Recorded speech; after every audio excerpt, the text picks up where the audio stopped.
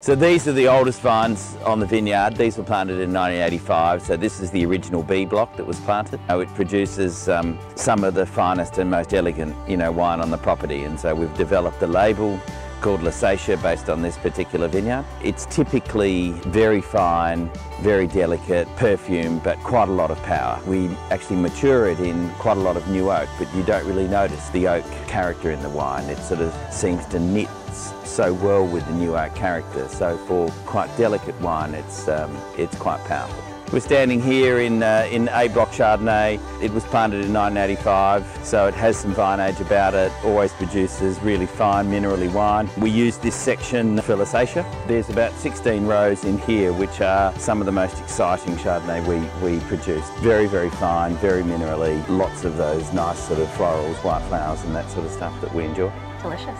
Amazing.